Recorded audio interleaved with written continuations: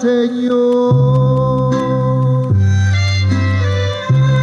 Es mi Dios tan verdadero y por eso yo lo quiero con todo mi corazón. Es muy grande mi criador. Es el rey del. Es sincero y es muy bueno.